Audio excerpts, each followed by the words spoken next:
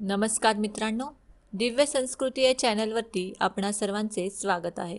मित्रांनो उतू नये मातू नये घेतलेला वसा टाकू नये. हे तत्त्व सांगणारी कथा म्हणजे श्री महालक्ष्मी व्रताची कथा. चला तर मग बघूया मार्गशीर्ष व्रताची कथा गुरुवारची कहाणी.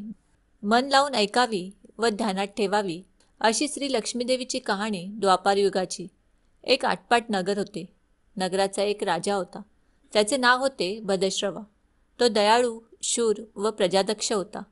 देवा ब्राह्मणांना साधू संतांना सुखवीत होता. आनंद देत होता.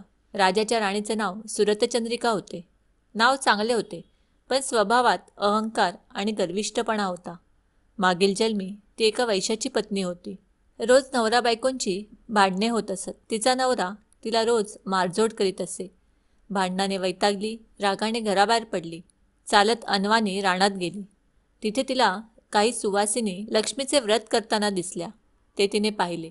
त्यांच्याबरोबर तिनेही ते व्रत केले. दुःख विसरली दारिद्र्य गेले. परिस्थिती सुधारली. देवीची भक्ती फळाला आली. कालांतराने ती मरण पावली. पुढे तिचा पुनर्जन्म झाला. स्त्रीचा जन्म पुन्हा मिळाला पण भाग्य उजळले. भद्रश्रवा राजाशी तिचा विवाह झाला. ऐश्वर्यात लोळू लागली. गर्वाने ती फुगली. दासदासींवर रागावली. एकदा काय झाले देवीच्याही मनात आले राणीला आपण भेटावं. मागच्या जन्माची तिला आठवण करून द्यावी. ती ओळखते की नाही हे बघावं. राणी राजवाड्यात सुखाने राहत होती. राजाही कौतुक करी. राजाही राणीचे खूप कौतुक करी. तिचे लाड पुरवी. त्या दोघांना पुढे सात पुत्र आणि एक कन्या झाली. कन्येचे नाव होते शांबाला. एके दिवशी काय झाले देवीने म्हातारीचे रूप घेतलं. फाटके वस्त्रे नेसली. माथी मळवट फासला. हाती काठी घेतली. काठी टेकीत टेकीत राणीला भेटायला आली. तिने आरोळी दिली. अरे आहे का घरात कोणी? कोणी घास देईल का? दासी बाहेर आली. म्हातारी दारात दिसली. तिने विचारले कोण ग तू थेरडे? कशाला आलीस इकडे? काय काम काढले आहेस? तुझे नाव काय? गाव कोणतं? तुला हवंय काय? मधून मधून खोकत हळू आवाजात म्हातारी सांगू लागली माझे नाव कमला. द्वारकेहून आले मी. राणीला भेटायचे कुठे आहे ग राणी? दासी म्हणाली. राणीसाहेब महालात आहेत. मैत्रिणींशी गप्पा मारतायत. त्यांना सांगितलं तर माझ्यावर रागवतील. तुला ग त्या कशा भेटणार? काय तुझा हा अवतार? तुला पाहून माझ्यावर ओरडतील. उनदुनं बोलतील. त्यांच्या मैत्रिणीही तुला हसतील. तू जरा आडोशाला बैस. मैत्रिणी गेल्या म्हणजे मी सांगते त्यांना.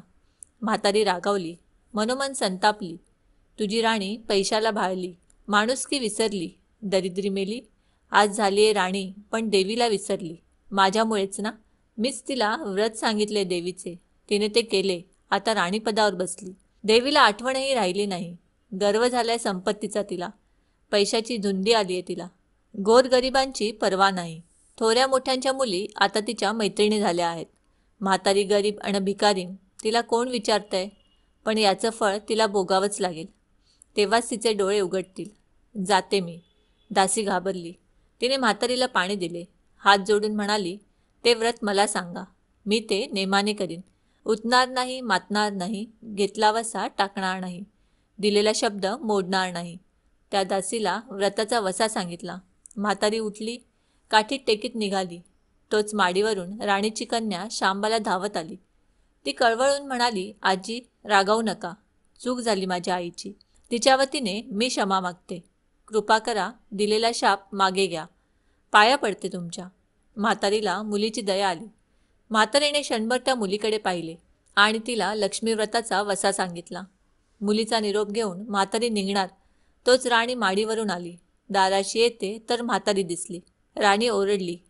काय गये थेरडे कशाला आलीस इकडे? जा इथून. उठ म्हणते ना. जातेस की नाही? दुसरी घरं नाही दिसली तुला? म्हातारीने संतापाने गरागरा डोळे फिरवले. कपाळावर आठ्या पसरल्या. ती तडक घराबाहेर पडली.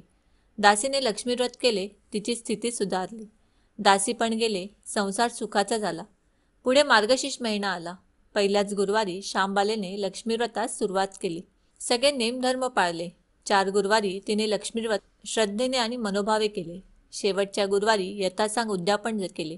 सिद्धेश्वर राजाच्या पुत्र मालादर याच्याशी शांबालेचा विवाह झाला. राजवैभवातील शांबालेला राजवैभव मिळालं.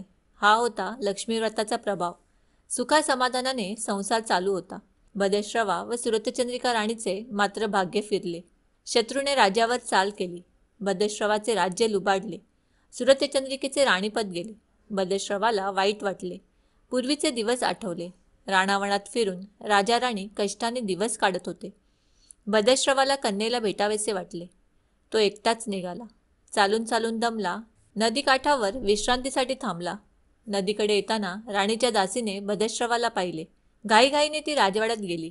राजाला सांगितले मालाधराने माणसं पाठवली. आणायला रथ पाठवला. सासऱ्यांना घरी आणले. सन्मानाने नवीन वस्त्र कंठीहार दिला. शांबाला वडिलांची काळजी घेत होती. काही दिवसांनी राजाला वाटले आता परत जावे. जाव्याला तसं त्याने सांगितले. मुलीचा निरोप घेतला जाव्याने मोहरा भरलेला हंडा नोकराकडे देऊन राजासोबत पाठवला. राजा घरी परतला. चंद्रिकेला भेटला. हंडा पाहून ते आनंदित झाली. गायीने तिने झाकण उघडले. आत बघते तर काय तिला कोळसे दिसले. सुरत चंद्रिकेने कपाळावर हात मारला. नशिबाला दोष दिला. नवऱ्याला सांगितले ते ऐकून तोही चकित झाला. दुःख पाठलाग करीत होते. दारिद्र्य सरत नव्हते. चिंतेचे सावट पसरत होते. काळजीचा वनवा भडकतच होता. सुरतचंद्रिकेचा एक एक दिवस दुःखाचा जात होता. एके दिवशी मुलीला भेटावे डोळे भरून पाहावे असे सुरतचंद्रिकेला वाटले. सुरतचंद्रिका घरून निघाली. मुलीच्या सासरी पोचली. तो दिवस गुरुवारचा होता. नदी तीरावर जरा वेळ बसली. दमली होती. त्याचवेळी एक दासी नदीवर आली. तिने राणीच्या आईला ओळखले. घाईने ती महालात गेली. राणीला निरोप दिला तुमची आई आलीये. नदी किनारी बसलीये. खूप दमलेली दिसते. तिला आणायला कोणीतरी पाठवा. शांबालेने सारथ्यासोबत रथ नदीकडे पाठवला. आईला घेऊन यायला सांगितले. आई रथात बसून महालात आली. आईला बघताच शांबालेने आनंदाने मिठी मारली. मुलीचं वैभव पाहून तिचे मन तृप्त झाले. तोंडून शब्द फुटेना. आईने स्नान केले. मुलीने तिला पैठणी दिली. सोन्या मोत्यांचे दागिने दिले. आईचे रूप अधिकच खुलले. दुपारची वेळ झाली. शांबालेने भक्तिभावाने लक्ष्मीची पूजा केली. आरती झाली. धूपदीपाचा वास दरवळला. शांबलीचा कडकडीत उपवास होता. भोजनाची तयारी झाली. तिने आईला जेवायला बोलावले. सुरतचंद्रिका पाटावर येऊन बसली पण ती एकदम शांत होती. तिला मागचा जन्म आठवला. लक्ष्मीदेवीच्या कृपेने या जन्मी ती राणी झाली होती.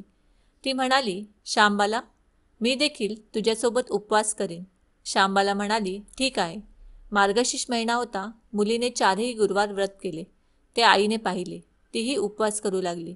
देवीला भक्तिभावाने प्रार्थना करत होती. महिना संपला घरी जायचा विचार ठरला. पोचवायला शांबाला सोबत गेली. चार दिवसांनी शांबाला निघाली. मालादर राजाने पाठविलेला पैशाचा हंडा घेतला. त्यात मीठ भरले. तो नोकराजवळ देऊन पुन्हा ती सासरी आली. पत्नी माहेरून परतताच मालाधराने शांबालेला माहेराहून काय आणलेस अशी विचारणा केली. सासरी आल्यानंतर पती मालाधर तिला विचारतो माहेराहून काय आणलेस? त्यावर ती उत्तरते मी तिथले सार आणले आहे. याचा अर्थ काय? या पतीच्या प्रश्नाला उत्तर देण्यासाठी ती एक दिवस अळणीत स्वयंपाक करते. जेवणातील अळणी पदार्थ चाकतो. त्यानंतर शांबाला पाण्यात थोडंसं मीठ वाढते. त्या मिठाने साऱ्या अन्नाला चव येते. तेव्हा शांबाला म्हणते हेच आहे माहेराहून आणलेले सार. मीठ जीवनाचे अमृत आहे. अन्नाला चव येते ती मिठानेच. मीठ नसलेला पदार्थ अळणे. ज्याचे मीठ खावे त्याच्याशी इमानी असावे. त्याचे रक्षण करावे. कामात कसूर झाली तर प्रसंगी प्राणही द्यावे. शांबलेच्या बोलण्यातली खोच पती जाणतो. त्यानंतर मालादर राजा निश्चयाने उठला. त्याने आपले सेवक सासऱ्याकडे पाठविले. त्यांना बोलावून घेतले. बदश्रवा जावयाकडे येतो. दोघांची गुप्त बैठक होते. मग ते बदश्रवाचे राज्य जिंकलेल्या शत्रूवर ताबडतोब स्वारी करतात आणि बदश्रवाला राज्य पुन्हा मिळते. त्यानंतर सुरतचंद्रिकेने पुन्हा लक्ष्मीव्रताचा वसा घेत आजन्म त्याचे पालन करते. महालक्ष्मीची ही कथा कहाणी गुरुवारची सुफळ संपूर्ण. ओम श्री महालक्ष्मी नमहा ओम शांती